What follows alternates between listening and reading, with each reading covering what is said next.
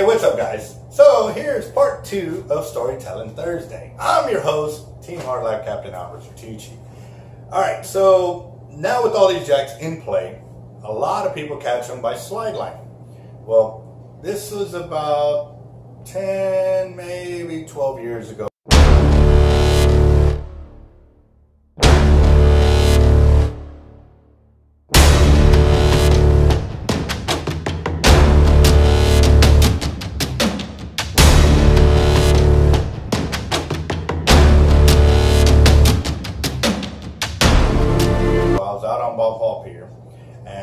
Started slide lining. It was very early in the season. Water temperature wasn't even right or anything for it. But guys are like, oh, you ain't gonna catch that. You're wasting your time, this and that. And I just you know, smile, you know, because I don't care. I'm out there gonna fish. I'm gonna try something. If that ain't working, I'm gonna try something else. If that ain't working, I'll throw bubble gum on the hook. I don't care. I'm gonna try something different. And I guess that is truly is what made me successful and is that I'm not afraid to try something. Now, if I've already tried it and it don't work and it don't work and it don't work, then I don't keep trying it. So, on this day, I was out on the left side of the tee. When you walk out to the end, I went to the left side. It was real calm waters and everybody was just bottom fishing. I'd throw out some slides and, you know, the, the older salts were telling me that you ain't going to catch, you ain't to catch. I kind of like being told that because when, when they do that, it, it's just like it lights that fire, and the fish just they come, they come. Well, that day the water wasn't glass, but it was smooth. There wasn't no ripples. It was almost a reflection, but real smooth water, as far as the eye can see. So I'm looking out the Packery Channel, and I start seeing these ripples across the water. And if you ever seen when you're out on calm waters and the rain hits, that ripple effect it makes, and you can see as the water's getting closer and closer. Well, that's what it looked like, but there was no there was no rain clouds. There was nothing coming down. Like you could see the rain coming down if it was. And so me and another guy, I can't remember the, the name of him, good buddy of mine, but I'm horrible with names. If you haven't met me yet, I'm extremely bad with names. I'm trying to improve that by remembering everybody's name, but yeah. Anyways, so we're out there fishing and. Uh, He's, he was bottom fishing. He goes, yeah, I, I want to throw a slide too. I said, throw one out. I said, you know, what harm could it do? They're not catching on bottom. They're not, you know, catching on the big rigs. It's going to put some slides out. So he goes, all right. So he does. And by then I already had my own bait because there was bait at the pier and we caught some and I put in my live bait well. We get our slides out. I had it was three or four slides, and this is way back when when you could pay the extra amount of money to get your extra rods in there. So what I would end up doing was I would have my four rod limit, and I would pay for four people to get on the pier. Because a lot of times my friends would show up that didn't have rods, so I put them on rods. They were free to get on, free to fish. I mean, all they had to do was have their license. So what better way to go hang out with your boys, right? Don't forget the beer next time. So, well, we're off the left side we're sliding out baits, we're sitting there, and we see these ripples, and it's just coming, and it's as far as the eye can see, from right to left. And I'm looking at him as I, you know, we're thinking as I, maybe it's wind coming in or northern, but how can it be if it was coming straight at us this way? So we're sitting there, and then we could see movement in the water, like underneath the ripples coming this way. And I was like, look, I said, that looks like bonita. And then, boom, first, king, first rod goes down, second rod goes down, third rod, his rod goes down, and we're hooked up like four fish like that. So reels are screaming. I, I go to the first one, I pick it up, we start fighting it. It was like a bonita. And then it was Spanish. And then it was a king. And then it was bonita. And then it was, and it was just fish after fish after fish after fish. And I had to do it. I had to look back at the guy, and I was just like, I ain't gonna catch nothing sitting there hooked up, hooked up. It got to the point that we were sliding baits out. We ran out of our live bait. I actually picked up a dried dead bait off the floor. I hooked it up, and as I was sliding out, I'm shaking my anchor rod to let my leader rod line go down. Kingfish comes completely out of the water and nails it about four to five feet out of the water before it even hits the water. So it's on, it's hooked up, and me and the guy, we are smoking the fish. I mean, we're catching big, big Spanish, kingfish, and bonita. I think I end up with like eight bonita, nine bonita, something like that. I got my limit of my two kings, and then I got a whole bunch of Spanish, which took me up to my limit. Well, looking at them, I was thinking, I was like, man, these are some big Spanish mackerel. And I was like, yeah. And I was like, you know what? I wonder what the state record is. So I pulled it up, and it's like 11 pounds or something like that. So I was like, you know. I'm gonna stop by Roy's and I'm gonna check it out see what it is. So I was like, hey man, can you weigh out this this catch for me?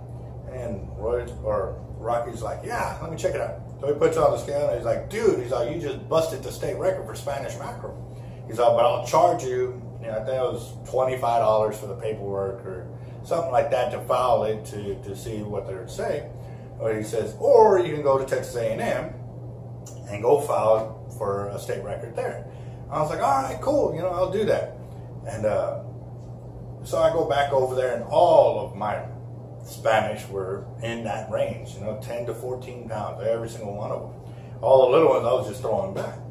So I get over there, and for some reason, something about it told me to drop off all my fish, just in case they wanted to keep them, keep the two bigger ones to verify or whatever.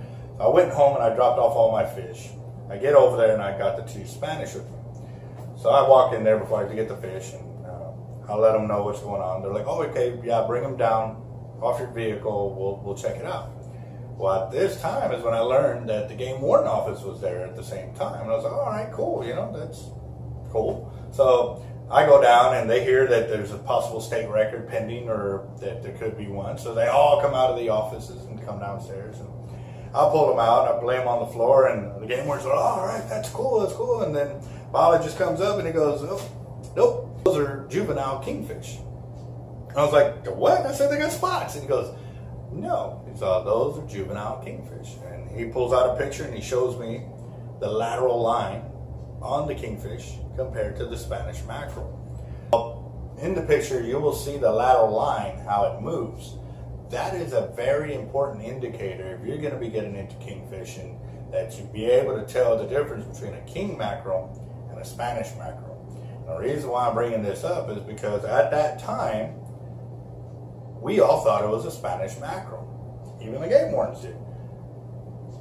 Comes out, it was a king mackerel, juvenile, still within the legal catch, because it only had to be like 24 inches or something like that, and I was at like at, right at 26 or something like that. After they point that out, they go, well, did you catch any more? And I said, no. I said, these are the only two I caught.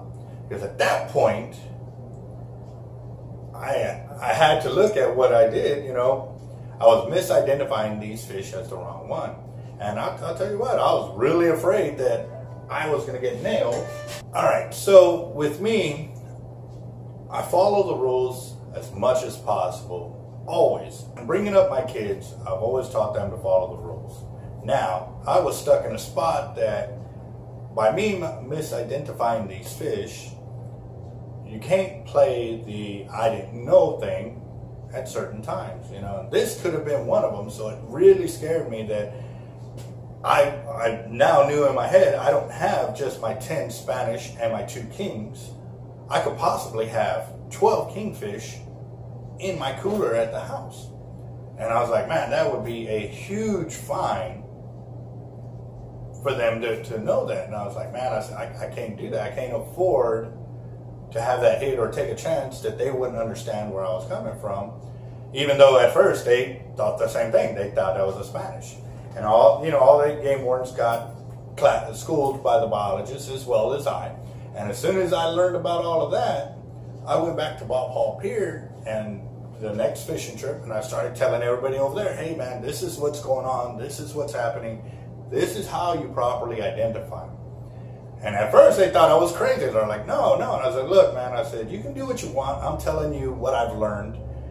You know, I can't control what you do after that. But it would have been a very, very expensive lesson to learn if they didn't heed my words. Because like I said, I could have almost gotten popped. You know, Rocky over at Roy's didn't know. I didn't know. The game wardens didn't know until the marine biologist came out and showed that to us.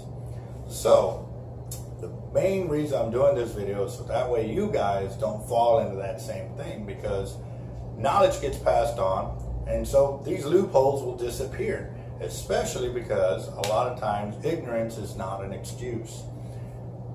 I was I was I was there. I was in those shoes where I had to learn, and I got very very lucky that I didn't have all those extra, or they didn't do an investigation even further. So from that point on, anybody I see catching any kind of king, I share the knowledge. Well, at least now with the YouTube channel, I can share my knowledge beforehand and hopefully save y'all a lot of pain and hurt and especially onto that wallet and or you know you know protect our species of fish and so forth. Because at the same time that's why rules and regs are set. So yes that was one of my encounters that have, could have gone very very badly had things not gone the way they did. So again like i said i just wanted to share that info with y'all guys and how i learned about the difference between kingfish and Spanish mackerel while Jack Crevalle fishing. Technically, it was originally kingfishing, but when the season's right, there won't be no kings. You'll hit a lot of jackfish. So for me, I was going for jacks today, caught this, and that's how I learned. So, all right, guys, y'all have a good one. And again, our 2,500 subscriber mark is coming. So if y'all haven't subscribed to the channel, you need to subscribe. You need to watch the videos so you can learn how we're going to do our next giveaway. And it's coming. Think y'all to like it because we might have one to two sponsors come in on this one. Don't know just yet. So y'all have a good one.